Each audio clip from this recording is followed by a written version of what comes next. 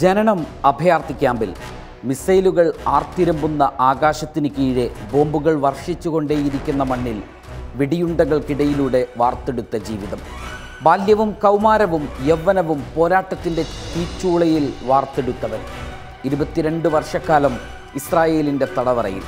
തടവറക്കാലം ആ ചെറുപ്പക്കാരനെ വളർത്തിയെടുത്തത് ഏത് വെയിലിലും കരിയാത്ത ഒരഗ്നിക്കും കരിക്കാനാവാത്തത്രയും കരുത്തുറ്റ പോരാളിയായിക്കൊണ്ടാണ്. ഇസ്രായേലിനെ എന്നും അലട്ടുന്ന ആശങ്കയിലാക്കുന്ന എന്തിനേറെ സയണിസ്റ്റ് രാജ്യത്തിന്റെ എക്കാലത്തെയും പേടി സ്വപ്നമായ പേരാണ് യഹിയ സിൻവാർ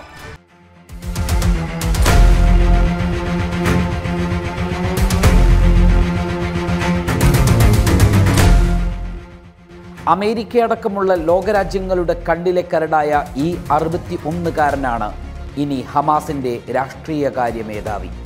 രക്തസാക്ഷിയായ കമാൻഡർ ഇസ്മായിൽ ഹനിയയുടെ പിൻഗാമിയായി യഹ്യയെ ഞങ്ങൾ തെരഞ്ഞെടുത്തിരിക്കുന്നു എന്നാണ് ഹമാസ് ലോകത്തോട് അഭിമാനപൂർവം പറഞ്ഞത്.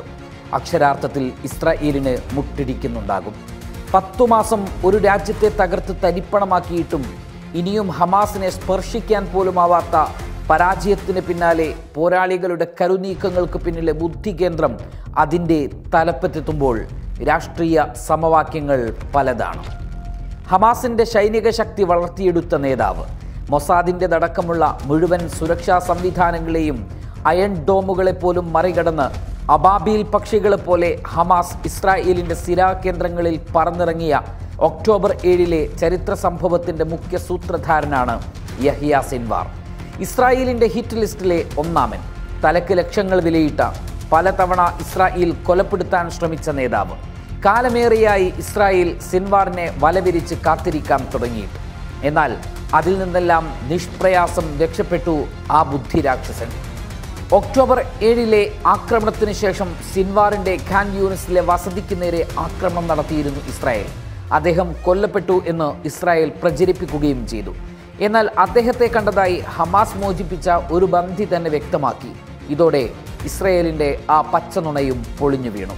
ഗസയുടെ വടക്കു കിഴക്കായി സ്ഥിതി ചെയ്യുന്ന അധിനിവേശ നഗരമായ അൽ മജ്ദലിൽ നിന്നുള്ള അബു ഇബ്രാഹിം എന്ന് വിളിപ്പേരുള്ള യഹിയ ഇബ്രാഹിം ഹസൻ അസിൻവാർ ആയിരത്തി തൊള്ളായിരത്തി അറുപത്തിരണ്ടിൽ ഗസയിലെ ഖാൻ യൂണിസിലെ അഭയാർത്ഥി ക്യാമ്പിലാണ് ജനിക്കുന്നത്.